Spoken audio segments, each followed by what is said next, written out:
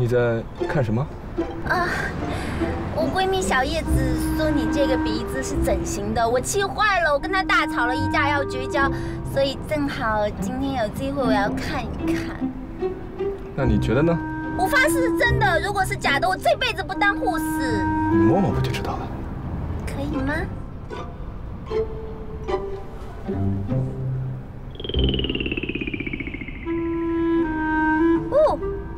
这里有个小伤口哎。这叫微创手术。你真的整形？其实整容并没有那么可怕，每个人都有追求美的权利，而美是任何人都抵挡不了。喂，你干什么？喂，你你干什么？你到底要干什么？揍你啊！你看不出来吗？人模狗样就是个牲口。你敢打我？畜生！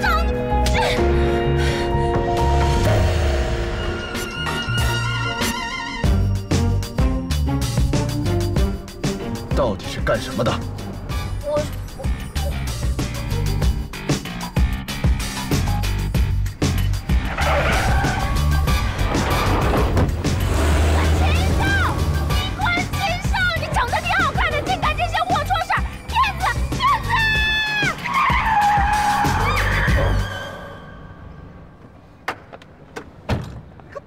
子啊！你吓死我了！你要杀人啊！我恨不得撞死你，个骗子！我什么时候骗你了？我不跟你说让你在这等我吗？等等等到什么时候啊？大清早你带着我东跑西颠的，你可好，转脸就跑，答应的事你全忘了。我答应你什么呀？哎呦，你属耗子的，撂爪就忘啊？你才是耗子呢！你怎么了？你想动手啊？你动本姑娘一根手指头，你试试。不跟你般见识，赶紧的，什么呀？装呢，拿钱。你就知道钱，我缺你那点儿我。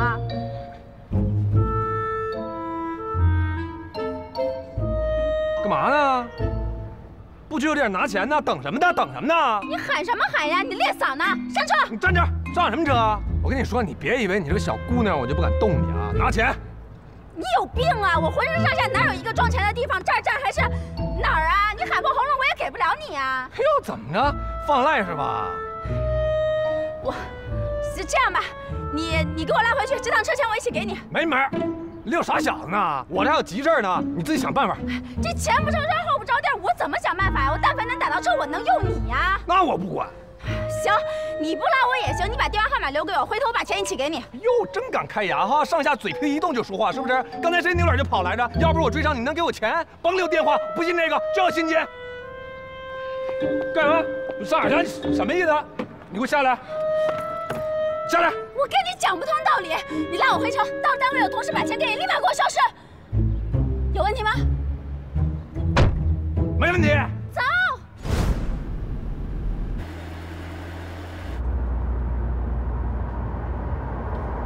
说话呀！什么？地址，汇龙广场。具体点。那你开黑车的，你不知道汇龙广场在哪儿啊？那地儿四个门，三条单行线都是不是顺着的？就算你付了车费，不想给我油钱，我还不想耽搁时间呢。西门，这么凶干什么呀？天上侠有理了，没见过你这样。我还没见过你这样的呢，衣冠楚楚，你开着宝马，唯利是图，你不嫌丢人啊？我开车赚钱，凭的是手艺，靠的是本事，有什么丢人的？我也没赚黑钱呢，穿比我好的，心比我坏的有的是。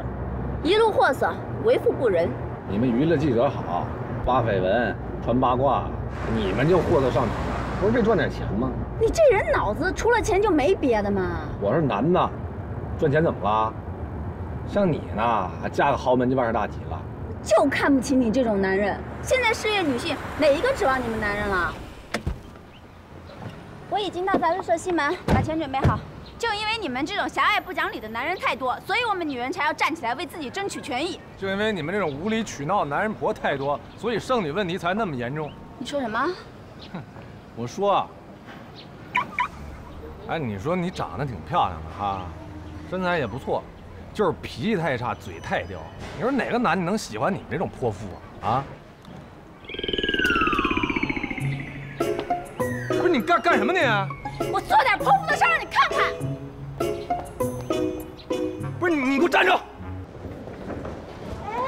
你不让我付钱给你吗，怎么回来了？不用了，自己解决了。哎，你这边这是咋办呀？一言难尽，我还有事要忙。哦，我懂，小徐。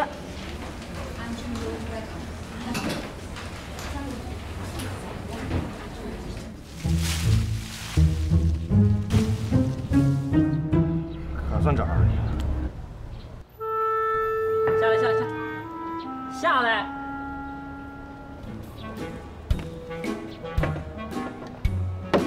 那蓝色的宝马车是你的？啊，那你快一点吧。怎么了？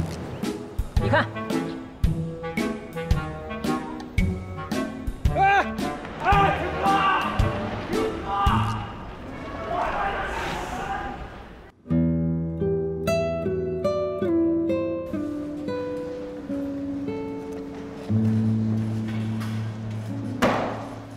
会儿不见穿的这么有情趣，你兼职了吗？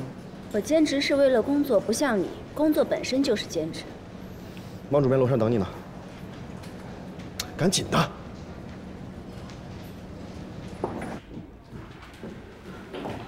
汪副主编，嗯，你找我？子子林怎么穿成这样了？我搞到专访了。是按咱们的采访要求吗？是，记录我看看。没有。让你去做 Peter 的专访，你打伤人家，人家告到社里来了。什么？他还敢恶人先告状？凭什么不敢啊？话都放了，如果不开除你，我们就等着收律师函吧。我累死累活搞个专访，他到猪八戒倒打一耙，泼我一身脏水。瞧这口气，搞砸了专访，连累了杂志社的声誉，现在还跟着狡辩。看来我们这个小庙啊，是容不了你这个大菩萨了。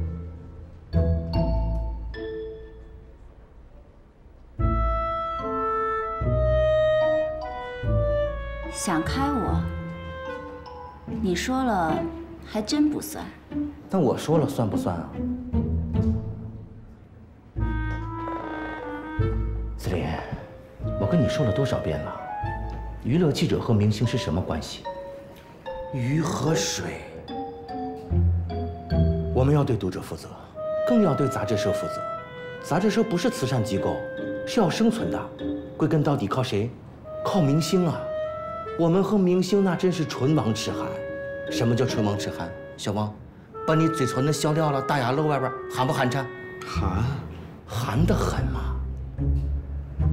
都像你这样，把握不好尺度，处理不好关系，甚至动手伤人，长此以往传将出去，杂志社颜面何存呢？这次真不怪我。那上一次呢？非抱人家劈腿，追到广州拍人家，人家老婆知道了，到杂志上骂咱们，拆散这家庭，主编的脸都被你丢尽了。上上次人家怀孕要结婚，你飞到医院证明人家没怀孕，啊，主编又替你扛了。还有这一次，这次是 Peter 非礼我，别说我了，换了谁都会抽他。子林，这种事情可不好乱讲的、有证据吗？哪怕拿出丁点的证据，主编替你遮掩，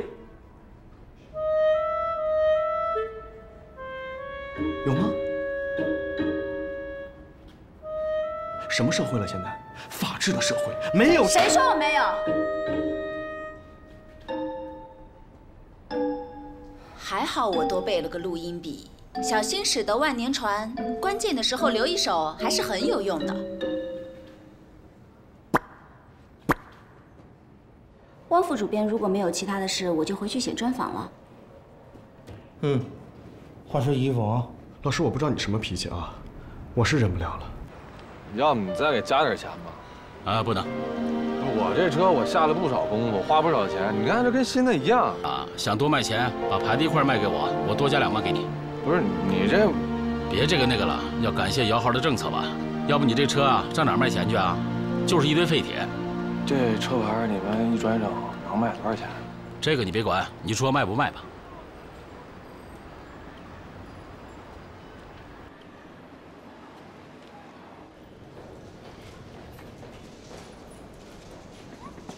徐子林，吓死我了！你吓死我了！你到这儿来干什么？我找你啊？快说，找我什么事？半个小时之前我刚知道，我中了车牌指标，不错呀，人品大爆发呀！坏消息呢？这是我六个月之前摇的，今天是最后一天有效期。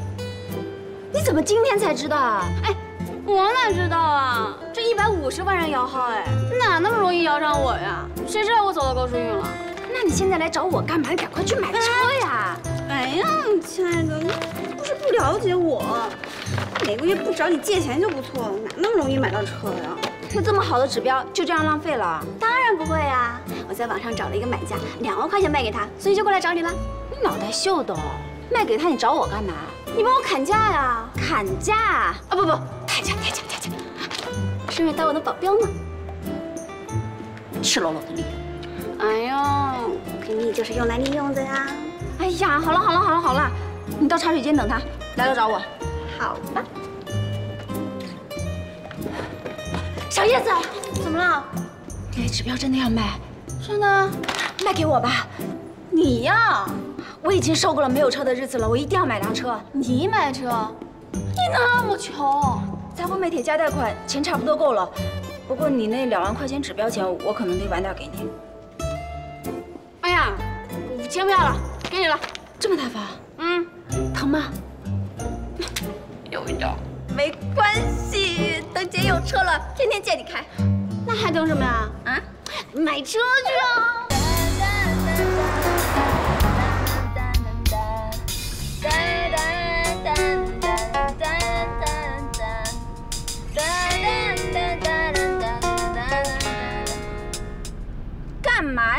自从我开上这车，你都没笑过，有什么可笑的？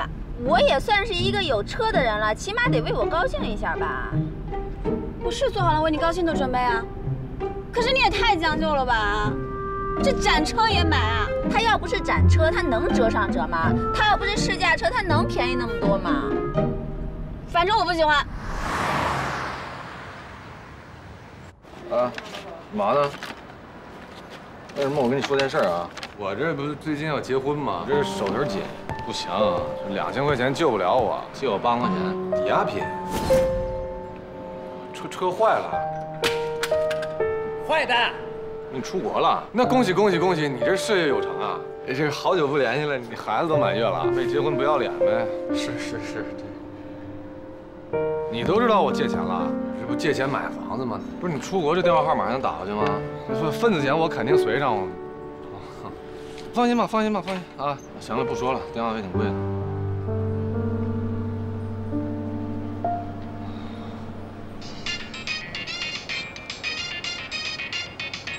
啊，干嘛？哎，师傅，晚上去电视台录节目的事儿，你可别忘了啊！录什么？啊，我知道了。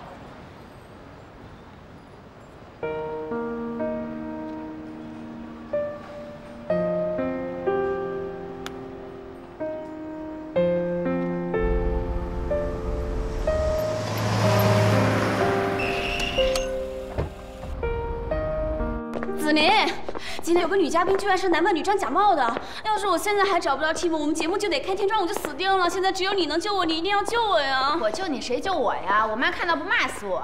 说不定你就一夜成名了呀！不稀罕。哎，你听我说，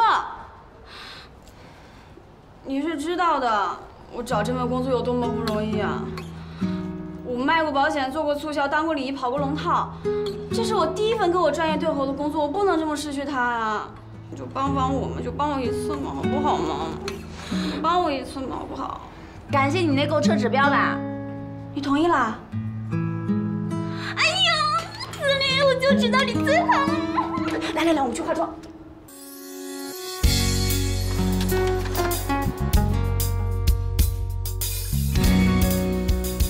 现场的观众朋友们，大家好！我能把这假发摘了？为什么呀？太丑了，像个老妇女，像个小苹果。我给你改个名啊，你叫你叫徐子。你傻呀？那儿写着徐子林呢。还您一个真实的相亲舞台。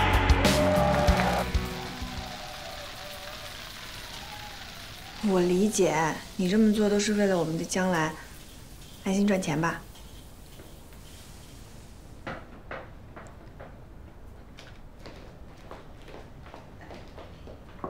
妈，你跟你商量个事儿呗。说吧。嗯，一会儿让丽萍来咱们家吃饭吧。把证领了再吃也不迟。你你同意我们领证了？我说的是房产证，不是结婚证，想什么呢？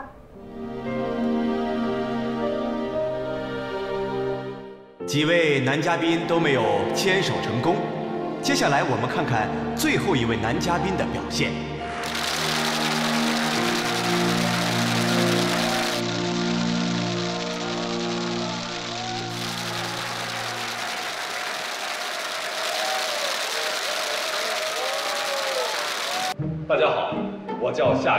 是这倒霉蛋儿啊？蝙蝠侠曾经说过，能力越大，责任越大。蜘蛛侠说的。谢谢。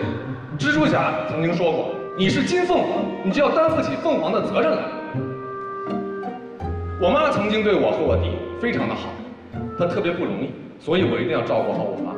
等将来我弟媳妇生了儿子，我要照顾好我弟媳妇的儿子。做我的女朋友必须得完成这一点。连你弟弟的儿子都要养啊？啊，那是肯定的，因为我们是一家人。那要是你女朋友不同意呢？你愿意和她分手吗？是的。要是你弟弟生的是女儿呢？啊，那就无所谓了，因为，呃，泼出去的水嘛，性都不一样。你说我们男人压力多大呀？房子、票子、车子，哪一个不是我们男人主？而女人呢，只要嫁一个好钱包，负责花钱就行了。不信你问问在场的十二位女嘉宾，有哪一个愿意为了真爱而裸婚的？我想此刻坐在电视机前有很多，哪个机器是？我想此刻坐在电视机前就有很多男性同胞，因为买不起房、买不起车，而最后被丈母娘拒之门外的。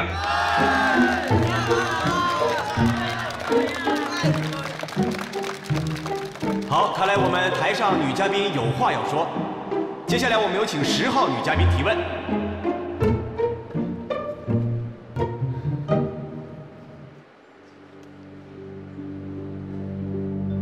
嗯，那什么，男嘉宾，我，我，我我知道你们男人他们压什么压？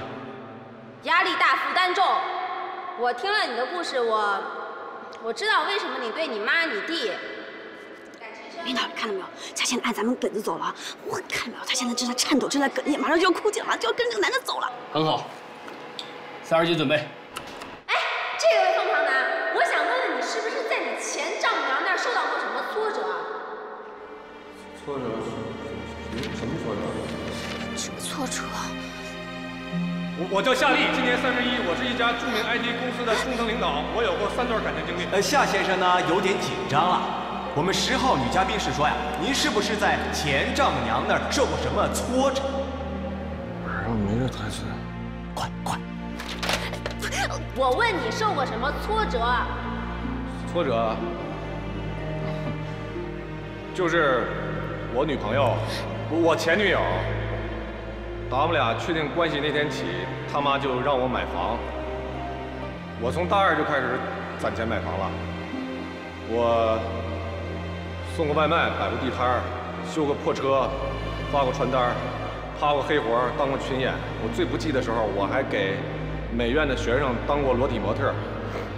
所以说我整个大学时光都为这套房奉献出去了。就这样，当我上门提亲的时候，我丈母娘。我前丈母娘还说，一手交房，一手交人，行了吧？哎，那你是不是真心想对这个姑娘好，给她一个完美的家呀？我当然想给她美满的家了。我是一个负责任的男人，你你都不知道，我为了借钱买房，我今天我还都跟跪的跟孙子似的，也都都都这样了都。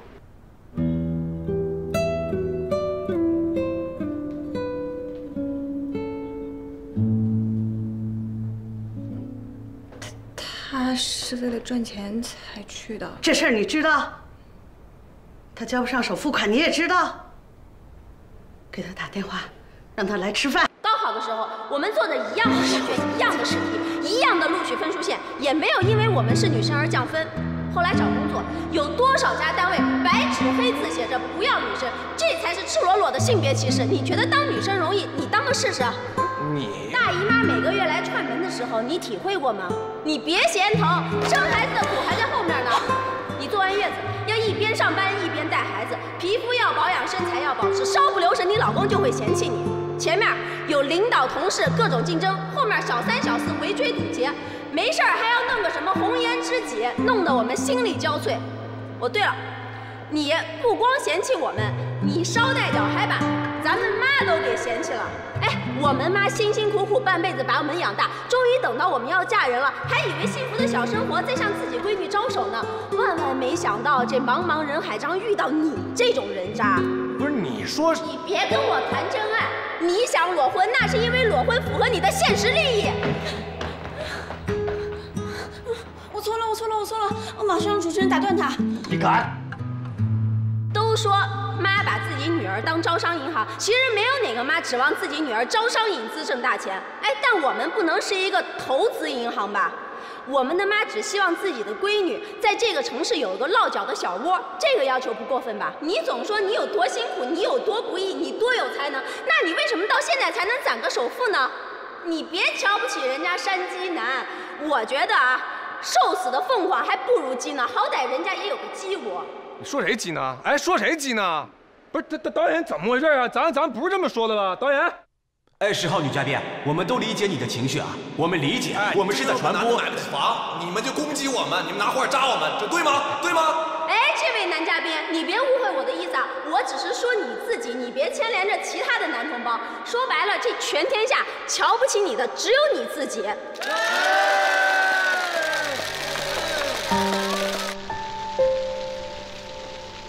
哦，那那像你说的，嫁个女儿就跟做买卖似的，那跟古时候卖闺女有什么区别？又没让你买别墅，只是付了一个首付，人家把女儿都已经嫁给你了，还要跟你同甘共苦的还贷款。哎，人家都这样了，你竟然跑到这全国观众的面前去为自己喊冤？哎，我想采访一下你，到底谁给你的底气，谁给你的信心啊？我不知道你前丈母娘听到你刚才的无耻言论会有什么样的想法，但如果是我，我掐死你的心都有了。那，那你你还把灯留着？太过分了，你太无耻了，你瞎说！哎，请安静一下啊！对不起，不要吵了，请大家安静一下。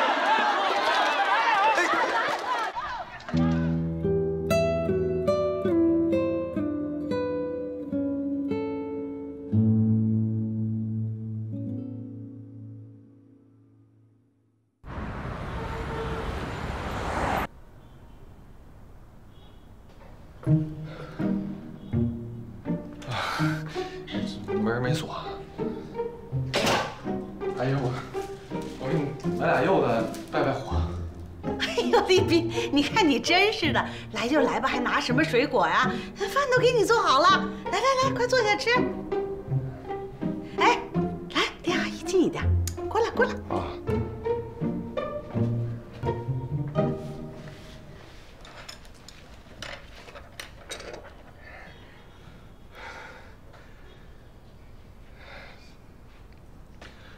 这这小鸡儿做的，一瞅就嫩啾。从小呀，阿姨就教育小美，宁当凤尾，不当鸡头。男人要有本事呢，手指头缝露一点，就够他吃了。哎，今天你们电视那女嘉宾呢，句句都说到我心坎里了。这天底下哪个当妈的不盼着自己的闺女好啊？说我贪钱，我能花你几年呢？没办法，孩子大了，管不了。我心想，就由着他去吧，鸡头就鸡头吧。哎呀，没想到我们家小美挑来选去呀，她选了个鸡屁股。你尝尝，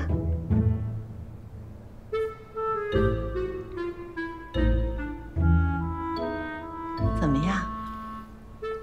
嫩啾啊！丽斌有很多优点的，是吗？那我还不知道。他呃人缘好，脾气好，面相好，喜气儿。我是让你找男人的，不是让你找吉祥物。那找男人也不是找钱包吧？怎么不是啊？就是找钱包啊！我算是白教育你了。你妈我把你生成这样也是尽力了。我就是巴望你能嫁一好男人，我也跟着享几天福。你说你怎么就这么不争气呢？你看看那个女嘉宾，你要是有人家一半的眼光和脑子，也不至于找这么个货。阿阿姨，你别怪小美，我是我我的错。当然是你的错，夏立斌，你别在我面前装老实人，一出门不把我骂个狗血喷头，我就算烧高香了。好了好了，废话少说，我现在问你，首付款是不是没凑齐？这个，嗯，阿姨，你再允我几天时间，我一定凑齐了。我今天就把车给卖了，又凑了八万。什么？房子没买，车又卖了？车是小事儿，别别的不敢说，车将来肯定不成问题啊。你就我的手艺，就攒也能把它攒出来一辆。今天卖车的钱，再加上我现在手上的存款，这首付凑的差不多了。别说差不多了，就说差多少？差八万。八万？这马上就要交钱了，你现在还差八万？那你赶紧想办法呀！怎么还有心思来这吃饭？不是你让我来的吗？赶紧给我借去！不是，大家都不容易，都困难，就借了一圈没借着。钱小美，你不是说他人缘好吗？怎么没有一个人借给他钱？要不你借我点吧？没说，没说，没说。什么？哎呦天哪！钱小美看见了没有？都算计到你妈头上来了。哎呦，行了行了，我看你今天来就没憋着好屁。乱乱了乱了。你是怎么着？硬着头皮想到我们家来倒插门啊？不是，是真乱了。当初你说不让我们出一分钱，你骗谁呀？我们赔了人还赔钱。妈，你别这么说。你行了，你给我闭嘴吧！你没听人家说吗？你是前女友，我是前丈母娘，你还替他说话？不是阿姨，钱阿姨。对，是钱阿姨。呃，我乱了，我了，现阿姨。行行了，你别废话了。我告诉你啊，钱一分没有。你不是在电视上说了吗？我让你一手交房，一手交人。不是，那不是我说的，那是角色说的。就有时候我们演员一副体。你放屁！你这是对我智商的侮辱！我告诉你啊，别说你没房没车，你现在就是有房有车，我们小美也绝不高攀。从今天开始，钱小美跟你一刀两断，老死不相往来。我要是让小美再见你的面，我就不是你前女友她亲妈。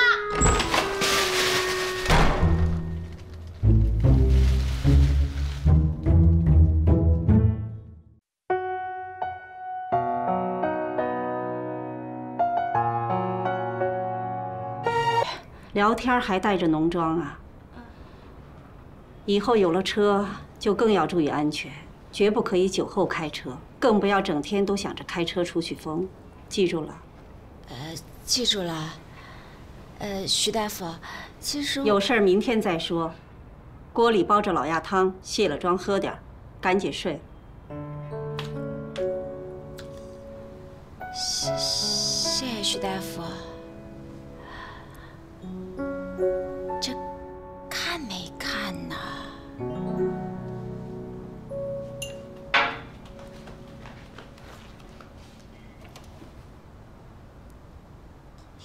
啊，凉的。啊，没看。我不是说买房这事儿不应该，我是说买房和结婚这种事儿。哎，师傅，你今晚这造型也太帅了！给你点赞。你这词儿传的也太硬了，你都怎么想的呀？这导演真是什么都能想出来，根本就没按台词说。那，那你即兴发挥的？那女的不按词儿说，我有什么办法啊？那你更厉害了，师傅。厉害个屁！星座管这叫水逆。怎么就水逆了？我就没觉得。那徐子林也不是什么好人，那也太能说了。也就是师傅你吧，一般人谁坚持得住？再说了，别说徐子林，现在大街上随便揪一女的出来，哪个不是伶牙俐齿、能言善辩，能把死的说成活的？我不就是当个演员去赚点钱吗？是，我拿人钱财，我替人演戏，我不该这么多要求。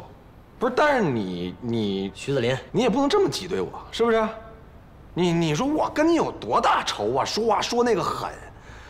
昨天坐车不给钱的就是他，把我车钥匙扔的也是他。逮我去演戏的还是他，要不是他，我车能被拖走吗？昨天你跟我说那个人就是他啊，这这也太巧了。我说好死不死的录个节目又碰上他，你听听，哎，说那话说的我跟臭狗屎似的。哎，你把我说成臭狗屎，你就香了。最可惜的是，录个破节目还是直播。直播怎么了？小美他妈看见了，说是鸡屁股，让小美跟我分手了。啊！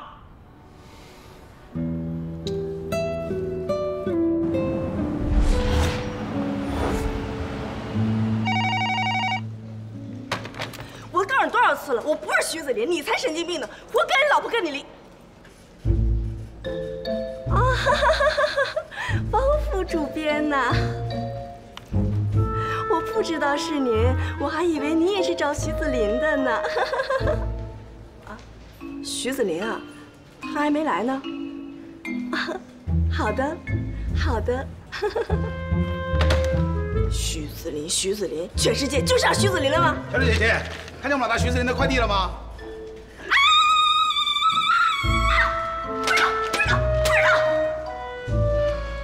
不知道就不知道呗，你打我干什么呀？我无非就是问一下，你看见我们老……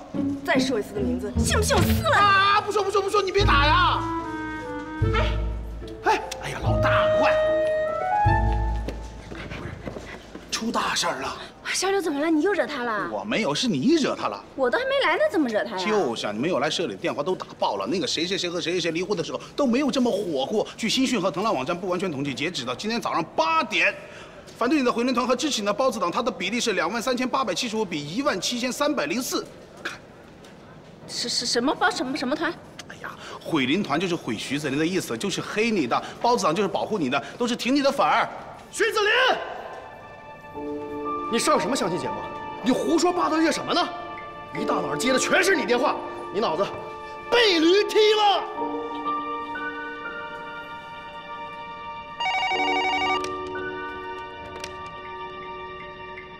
干什么？不敢正视我是吧？挡口水。你摆出那副不可一世的样子给谁看呢？徐子林。当初要不是社长和副社长看你态度积极，可怜你，我们根本就不会录用你这种医科学校的毕业生。可你呢，不知感激，骄横无理，自由散漫，没上没下，玩忽职守。刚来社里没有两年，看把你给狂的，还好意思满嘴的新闻理想、职业抱负，生怕别人不知道你是个记者是吧？你说说，哪一次出去采访不惹祸生事？组长，我们老大他对，你还养了个胖宠物丁爽爽。你不计后果，他找不着调门，你俩真是绝配呀！算算，算算，给领导惹了多少麻烦，给社里带来多少负面影响，啊！领导每天不用工作的是吧？整天给你们擦屁股就行了是吧？心多大呀！白天王主编刚批评完你，晚上就去做节目了，在大庭广众下公然相亲，言辞如此的激烈，你把领导的颜面置于何地呀？啊！把杂志社和新闻工作者的职业操守置于何地？王琦，你当着主子面叫唤的真够卖力的。说什么呢？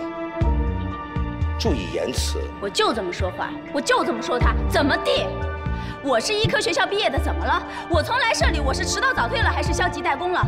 我从来没有因为我不是新闻专业出身，我拖过社里后腿。我也从来没有因为我没有上过新闻专业的课程，写那些驴唇不对马嘴的狗屁文章。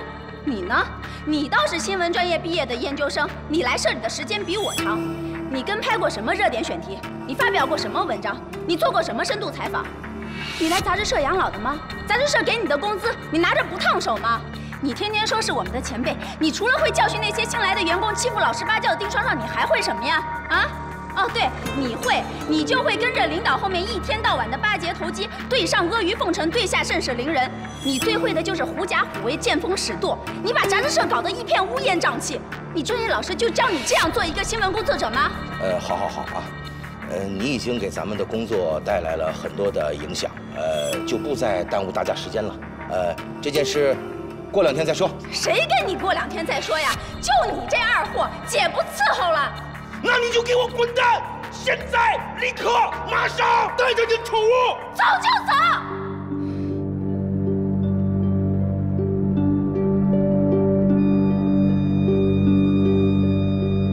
干嘛去，子林？这怎么回事？怎么还宠物了？社长，情况是这样的：徐子林在电视上出言不逊，给杂志社带来了恶劣的影响。我正在替社里清理门户，赶走这个害群之马和他的宠物。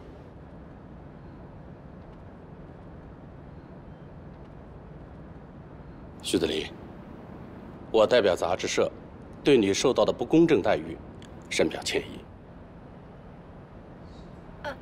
不是社长，这件事情跟社里没有关系，是这个老王早就已经看我不顺眼了，更不需要社长您跟我道歉。不，没能发现和保护好一个天才的员工，这本身就是我的失职。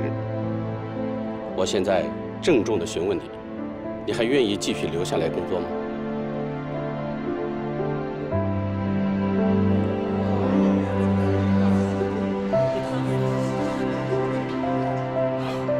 别的你不用担心，社里已经决定，专门为你开辟一个新的栏目，专门教女人如何挑选一个好男人，题材、稿件、采访，都最大限度的给你自由，由你全权负责。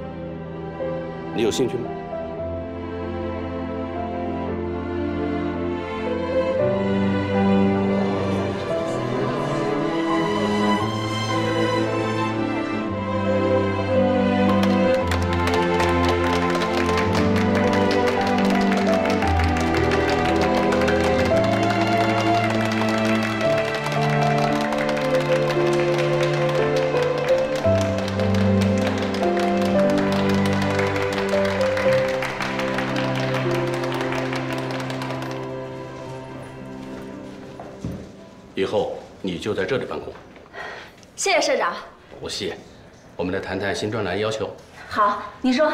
文风嘛要犀利，观点要火辣，目标是让男人边骂边看文章，让女人边看文章边骂男人。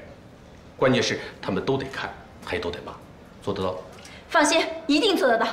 新专栏下周二刊出。只有六天了。时间紧，任务重，不过我相信你有这个能力。谢谢社长信任，我保证完成任务。好，享受一下升职的快感，然后尽快开始工作。是。哎，我给您安排了今天的电视访谈，午间黄金档，非常新距离，为你的新专栏宣传造势。上电视啊？害怕了？一朝被蛇咬，十年怕井绳。不怕，多咬几回就有免疫力了，不能迟到。是。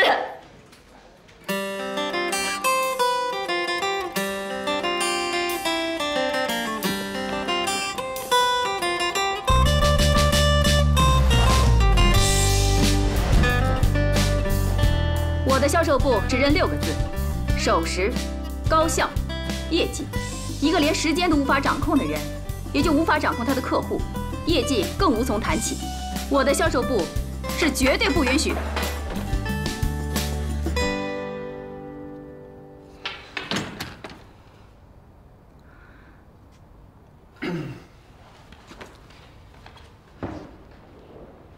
下边五位组长可以开始分别挑选你们新要的组员，会后马上投入工作。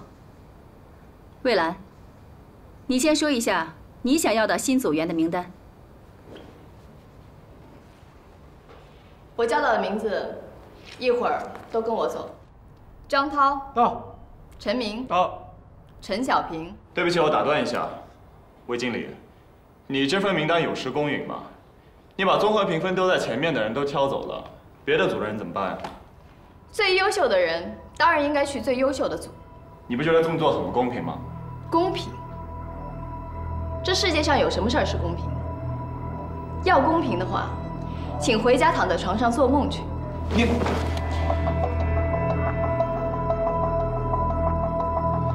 我今天来不是和你吵架的，我是觉得我们应该公平合理的分配优秀员工。这是我的名单。想搞平均主义，你就不应该进销售部。幼稚！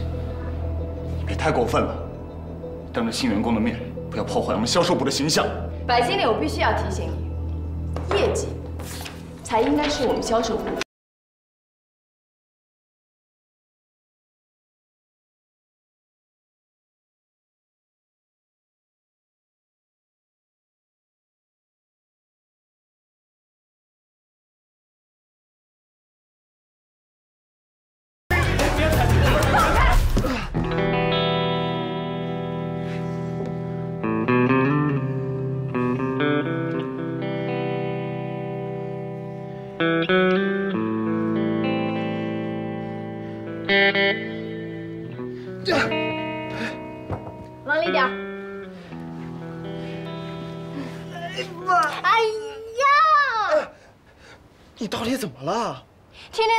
天在公司里扮仇人，我真的是受够了。公司禁止员工恋爱，太会伤人性了。人力资源部不是已经说了吗？公司不是禁止员工谈恋爱，要谈恋爱可以，只是一方啊必须辞职或者调离。那万一要是哪一天我一分神，张嘴直接就喊你老公怎么办？哼，那我就一撸到底，销售经理变草根，直接打回社会底层了。你下午去哪儿了呀？我去恒远科技那儿了，那不是有一个……三、二。我说实话，你不许生气。说。我去无极花园售楼处了。去那儿干嘛呀？你跟我在一起都两年了，房子、车、钻戒，什么都没有，连牵个手都要偷偷摸摸的，生怕公司的同事看见。我真的不想这样，我这样太委屈你了。我想给你一份依靠，我想让你幸福，我很想求你嫁给我。好啊。你说什么？我说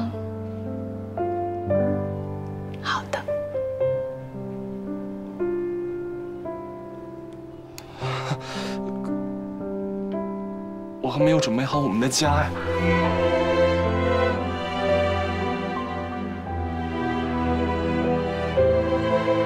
这些都不重要，房子一定会有的。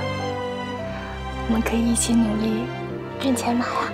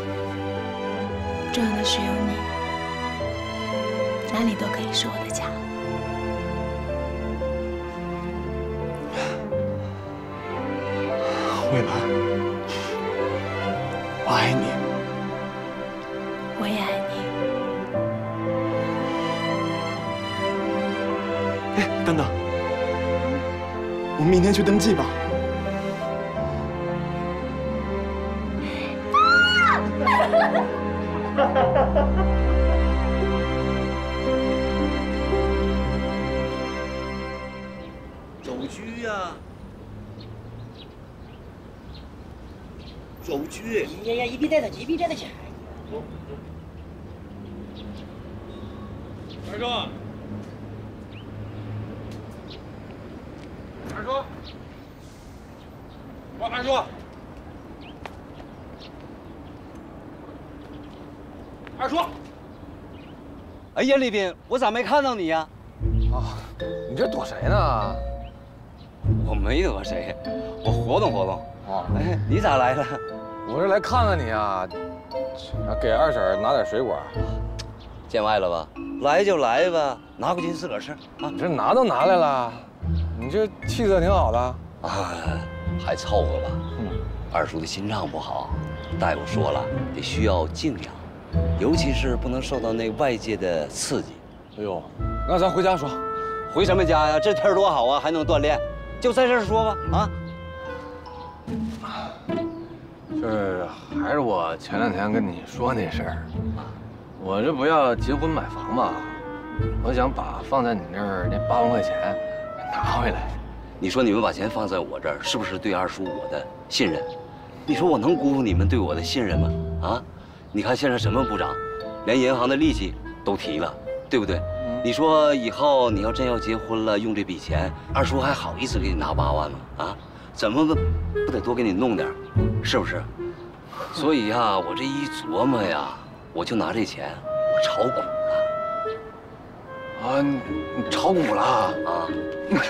那那那后来呢？就就没有后来了。怎怎么就没有后来了呢？就是没了。八万块钱炒股，炒炒没了？不光是股票，还有基金。那那基金呢？基金还不如那股票呢。不是，二你你不是那我怎么办呢？那我买房子钱，你坐下，坐下，坐下。不是，二叔你别闹，谁跟你闹呢？不是你二叔你你不能这么对我。你说我这首付钱凑不上，房子买不起，那我拿什么娶小美啊？我跟你说，你爷把你交给我，就是让我为你的幸福把关。像小美那样没有房子就不结婚的姑娘，咱也敢娶？她嫌弃咱，咱还嫌弃她呢。就不说别的，就小美她那个妈，那是个典型的钱串子。我跟你说，以后你跟小美真的要结婚了，她够你喝一壶的。我跟小美这么多年感情了，她什么人我知道。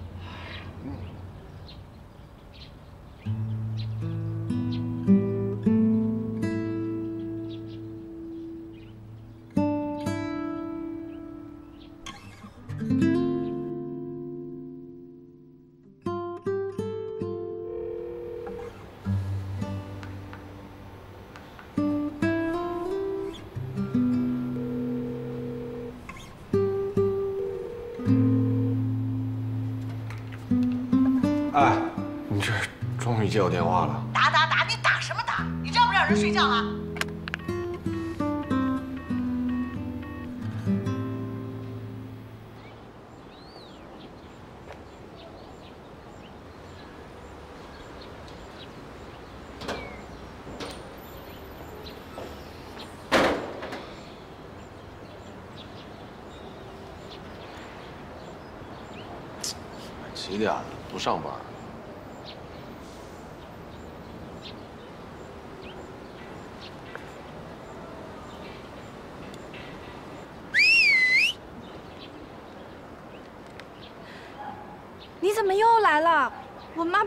见你。我来跟你解释啊！哎呀，别说了，我妈还生着气呢，都不让我上班了。你别添乱了，你赶紧走吧。不是，我见不了你，我心里放不下呀。你这不是见着了吗？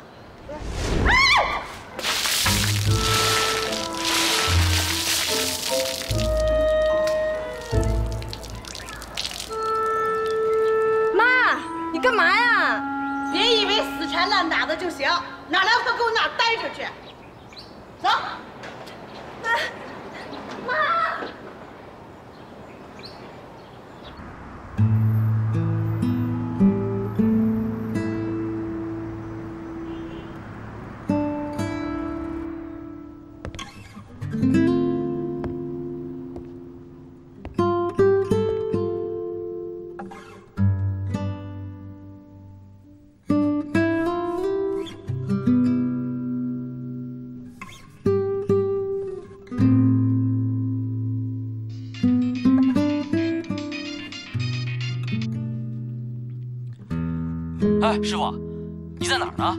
经理都来三回了，问你怎么还没来？关注非常热点，直播非常事件。大家好，欢迎走进非常新距离。那么目前呢，网络上呢流行了一个非常火的词汇，叫做“夏丽男”。那这个名词呢是出自于一个相亲栏目的女嘉宾之口，她呢也是当下最红的话题女王。她言语犀利，敢想敢说，同时呢，她也有着个非常特别的身份，那就是《宁州娱乐周刊》的专栏女作家。好，接下来让我们掌声有请今天的非常新星徐子林。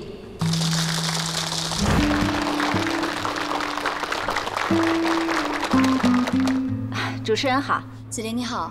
在相亲栏目当中呢，你提出了嫁人呢绝不选择夏丽男的这种理论。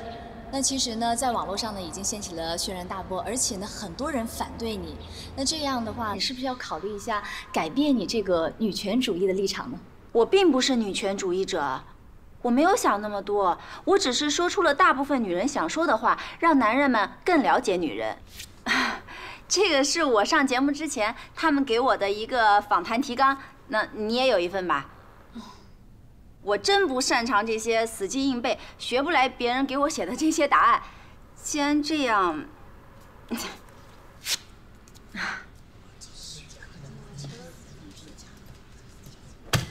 就这样吧。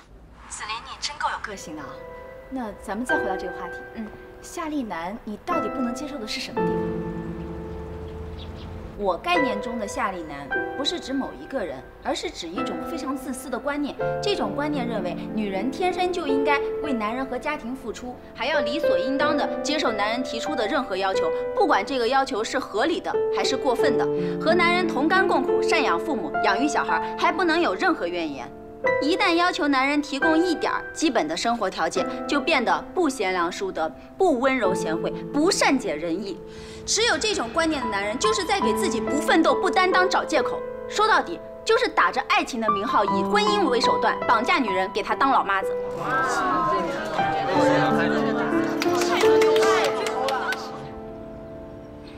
既然大家都说我炒作呢，不妨我在这儿就插播一个小广告。下一期的《宁州娱乐周刊》上面有我的专栏，我会再仔细的和大家探讨这个问题。也欢迎那些反对我的毁林团们，欢迎你们来到我们周刊的论坛，结伴围观，组团批判。在此也和大家声明一点啊，我们嘉宾的观点呢，仅代表他个人，与本栏目无关。你在栏目当中呢，不仅抨击这个夏丽男，而且呢，还强烈的反对裸婚。我想问你，是不是因为你不相信爱情呢？爱情跟婚姻本来就是两码事。谈恋爱嘛，靠嘴就行了。婚姻不一样，婚姻是很具体的，具体到每一件事，吃喝拉撒睡，行动坐卧走。谈恋爱呢，头脑一热就可以开始了。可是结婚光靠头脑热是不行的，带来的将是一大场灾难。所以广大的女同胞们，你们一定要考虑清楚了。都考虑什么呢？遇到一个好男人，你会幸福一生；但是遇到一个渣男，就会毁掉你的一生。你懂个屁！你这是赤裸裸的歧视，公开炫富。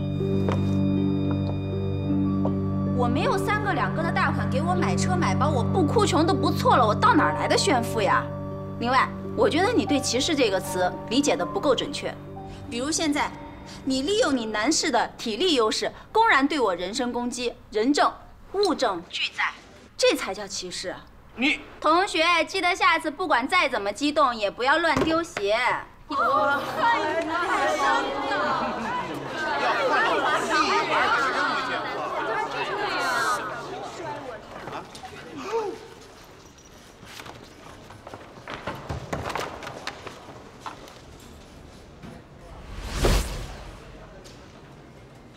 无法无天，无法无天呐！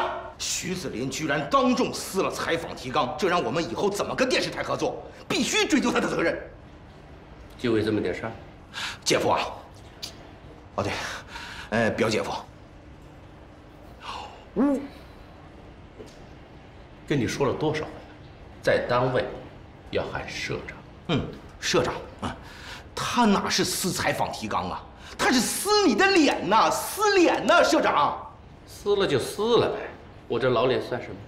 再说那采访提纲，他怎么写，都是些陈词滥调。还不如人家徐子林的现场发挥。那他现场是尽情的发挥呀，胡说八道，大放厥词。现在抗议电话都打爆了。你也不想一想，节目播出之后，我们官方微博的粉丝会增加多少？杂志的预定会上升多少？我们的关注度会提升多少？这几个抱怨的电话有什么用？社长啊，抱怨的电话没什么，但是这是……你往这看，这水母有毒吧？可它还是被人养在鱼缸里，为什么呀？因为，因，因为因为它没有脑子。社长，你先别管我有没有脑子，咱就说徐子林的发言，他的发言导致现场观众扔鞋泄愤，影响恶劣呀。你动动脑子，好好想一想，行不行？我动着呢，我我我为什么千辛万苦的安排他上这个节目？因为，因为，因为那是直播，是吧？只有直播，扔鞋子的画面才不会被掐掉。嗯，他那么喜欢发挥，那么怎么让他发挥好，才是需要我们精心策划的。嗯，扔鞋子是您安排好的，明白了。这么说我就全明白了。以此推断，宝马广告也是您安排的。放屁！这不是啊，那是我能安排的吗？啊，这恰恰是我最欣赏徐子林的地方。虽然宝马广告不是我安排的，不是姐夫，你说话快点，姐夫。杂志社有了他，未来会更精彩。精不精彩的我不敢说，反正会更加嚣张。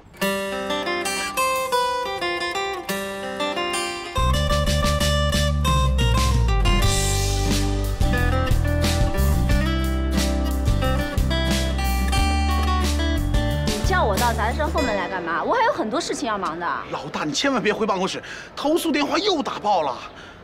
老王发飙了？那是啊，访谈一结束，他就跑到社长那儿去了。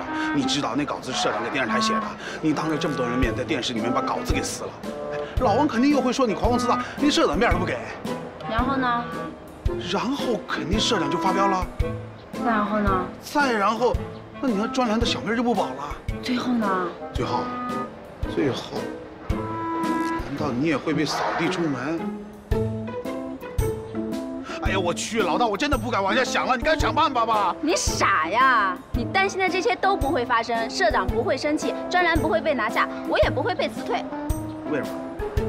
因为我今天在直播中撕了专访的稿子，又做了一回出格的事情，成为了话题的中心，博了大家眼球，给了大家谈资，那徐子林的关注度就上去了，徐子林的专栏当然会有人看了。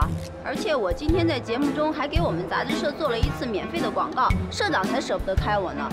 至于老王给我扎针，他愿意上蹿下跳鬼哭狼嚎，随他去吧。怎么了？我有个问题想问你。问。你说我没钱，又没背景，没能力，还这个体型儿，你那么霸气，你是不是打心眼里面就鄙视我？你笑什么呀？一个车是不是好车，不在于它的排气量，不在于它的内饰，不在于它是否出自名门，更不在于它百米提速有多快，这些都不重要。关键是在于它能否载着乘客经历风雨和坎坷，安全到达终点。评价男人也一样，有多少钱，有多大权，有多高的社会地位，这些都不重要。在我徐子林眼里的好男人，就是要有责任、敢担当，能为家人遮风挡雨。小毛病、小缺点，只要保养好也不重要。没错，你是胆小、缺心眼儿，业务能力也不咋地。不过你愿意跟我一起出生入死跑新闻，在危难时刻你肯定是第一个站出来给我挡枪。我们还一起跟社里那些恶势力做斗争，这些才是最难能可贵的。丁爽爽，你真诚、善良、踏实、能干，是个好男人。相信有一天你会成为一个品质优异的好车。老大，你真的不嫌弃我？我说了那么多都白说了是吗？真讨厌，我说话很贵的。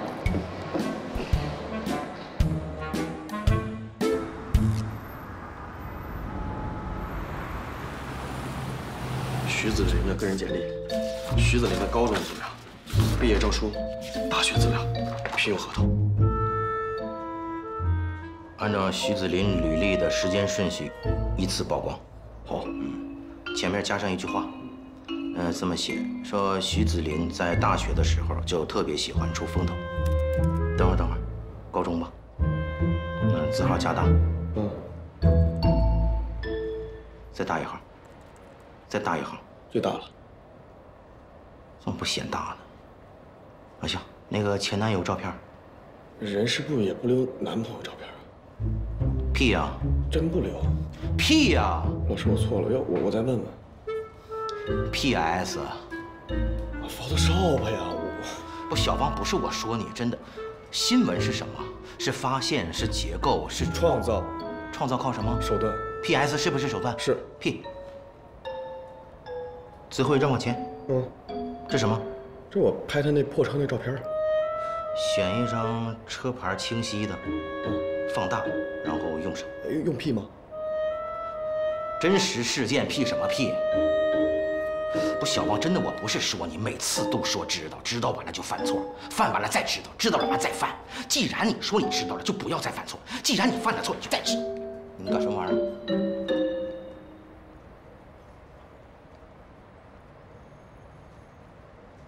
哦，我帮你续杯。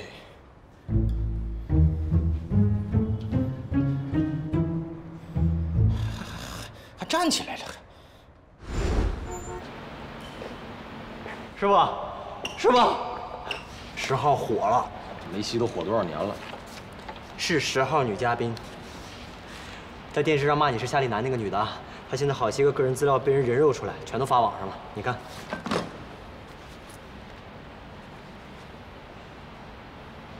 这是哪个雷锋替我报仇呢？这泼妇还开一 mini，还宝马呢，难怪那么嚣张。开宝马叫嚣张啊？开宝马就高人一等啊？就是啊，开宝马就高人一等啊！师傅，你去去给他改成夏利去。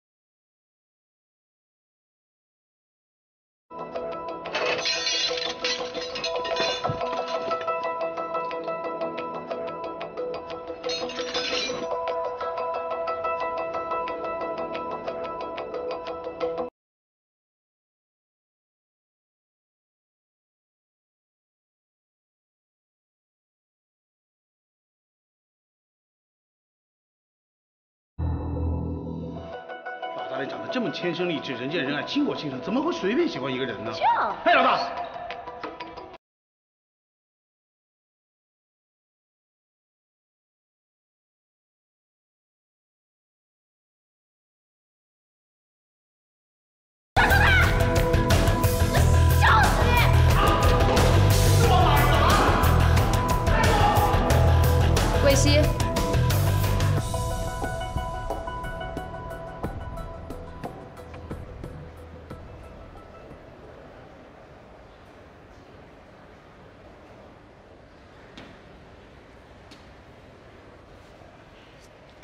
姐，你你怎么在这儿？我来就是来提醒你，别那么爱出风头。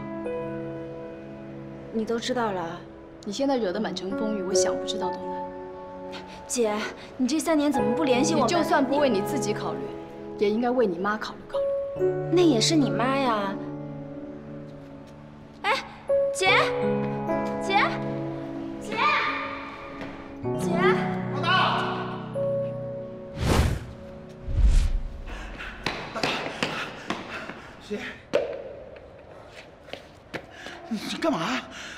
往这边跑的，这边追得到吗？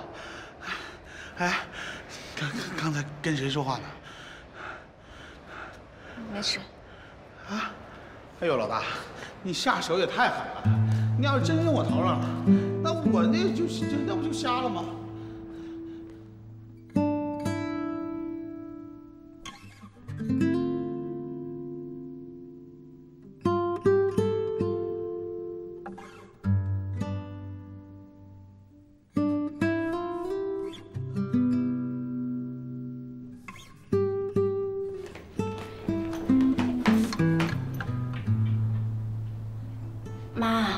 每天都这么晚回来，把家当宿舍。我最近比较忙。你什么时候不忙啊？我最近真忙，社长要给我开个专栏，写什么呀？女明星怀孕，男明星包小三儿。等我有了专栏，我就不用写这些了，我就可以写我自己想写的东西。写的再好，在那些八卦杂志上也没人看。那专业不对口，正经媒体单位又不要我，你要我怎么办？哎呀，等我有了专栏以后，我就不用写这些八卦新闻了，我就要做好自己的专栏，证明自己的能力，将来我就可以在大报社里面报道社会新闻。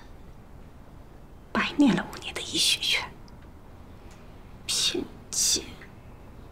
你瞧瞧人家鲁迅先生，不也怀抱着为国为民的伟大理想弃医从文了吗？好了好了，时间不早了，赶紧睡吧。哎，妈，嗯，你最近跟我姐联系了吗？她跟你联系了？嗯，没有。嗯，上次你把我爸骂走的时候，也没说问一下我姐的住址、电话和工作单位什么的。她知道我们在哪儿，她要是不想联系我们，找她也没用。嗯，哎，你今天怎么想起问这个呀？哦，我姐不要过生日了吗？嗯，我有点想她。